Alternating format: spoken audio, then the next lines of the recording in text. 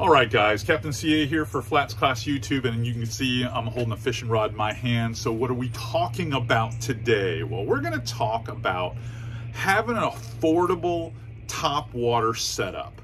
That's right. Now, everyone knows me as a casting rod guru. That's that's what I do. I, I've always been that guy in inshore saltwater. But many of you that are fans of Flats Class YouTube and of the television show you guys love the spinning rod, so I thought I'd talk a little bit about a setup that I have found for my clients and my family that has been doing a really good job, and I think it's going to be something that you're going to want to put on your shopping list.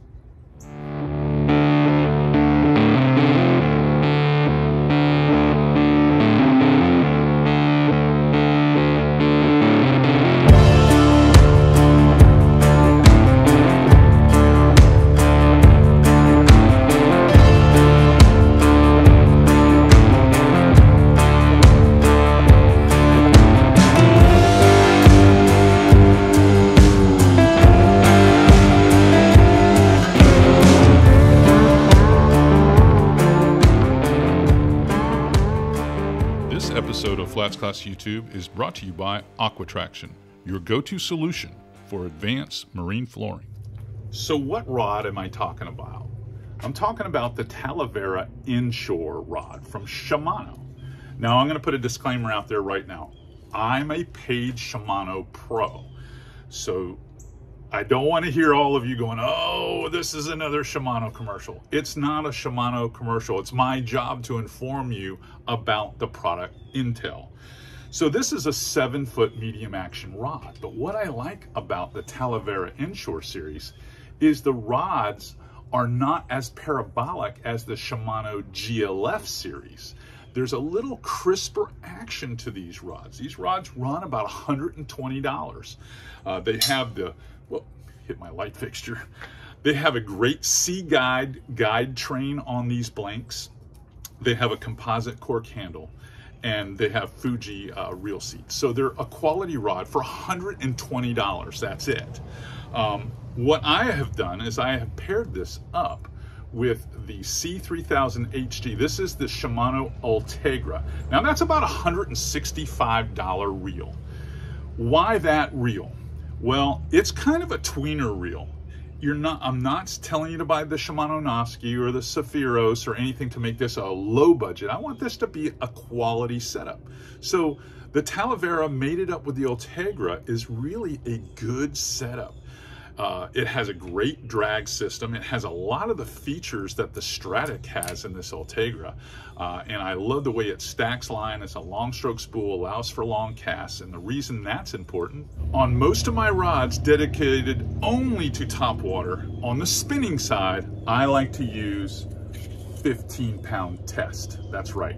I'm using 15 pound Power Pro Super Slick V2. Now on the casting side, I'm using 20 and 30 pound braid.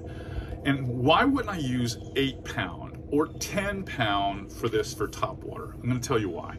Because when you're throwing these, you know, these heavier top water baits, and it doesn't matter whether you're throwing a heavy one or one that's a little lighter weight, more of a medium sized one, there's a lot of stress that you're putting on that tip top where that braid's running back and forth and back and forth, and then you're twitch, twitch, twitch, twitch. And when you use those lighter lines, you do tend to have to be cognizant of the fact that you're gonna have to strip line off from time to time and then reclip and retie, or you're gonna end up making one swing and you're gonna throw the lure off. So 15 pound is perfect.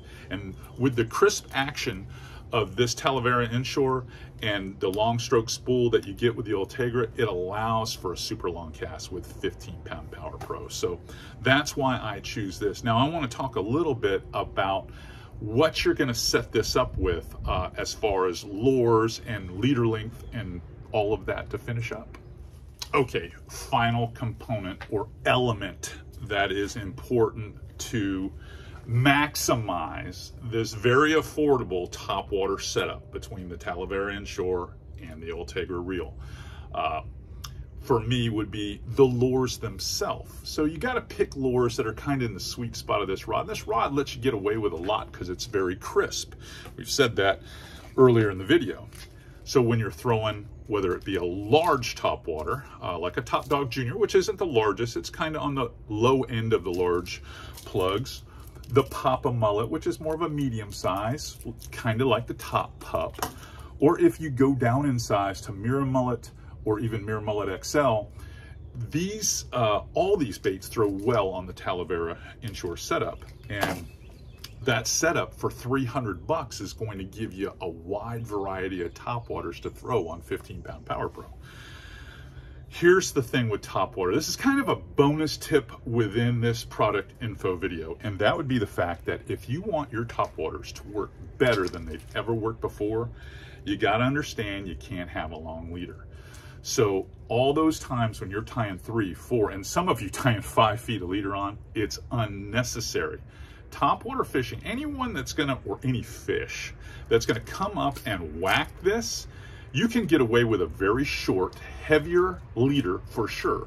Now this is about as maximum as I go, 18 inches right here, but you can make them as short as eight to 10. And you can use leader weights that are in the 30, 40, and sometimes 50 pound class, depending upon what you're fishing for. Why do you want a short leader? Because if you have a long leader, you're gonna have all this leader material, especially if you're using fluorocarbon a lot, hanging in the water, sinking, and it's gonna dampen the action of this plug. So it's gonna make it harder to walk. You're gonna work so much harder twitching to keep that nose up. You don't have to do that with a short leader. All right, if, if you want to find these materials somewhere, the Shimano products, or even some of these MirrOlure top waters that I revealed in the video today, go to Sodium Fishing Gear. That's right, you can get it at sodiumusa.com. And if you're learning something from Flats Class YouTube, come on, man, give me that thumbs up and push that subscribe button and tell all your fishing buddies. Or don't tell them and they won't be as good as you. Either way, I'm happy. All right, get to the ramp, get to the water, and start walking the dog and catching some fish.